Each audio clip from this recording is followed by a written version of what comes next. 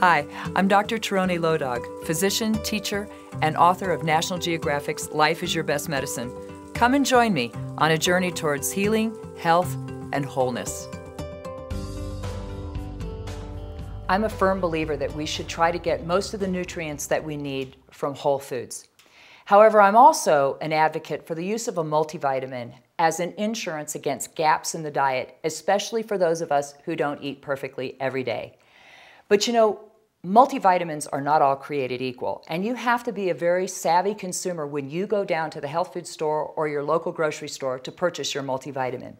There's a couple things that I want to really focus on that I want you to look for. One is vitamin A.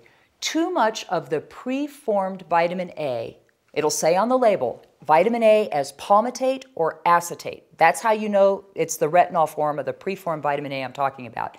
You don't want more than 2,500 IUs in your vitamin every day. More than that has been shown to actually increase the risk for fragility fractures to make your bones more brittle.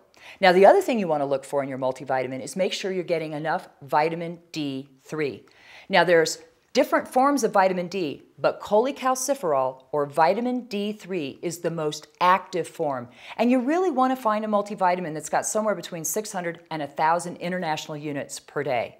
Multivitamins are best taken with the largest meal of the day because you want to have some fat in your meal to help absorb that vitamin A, the D, the E, and the K. The arena of dietary supplements is really my special area of expertise.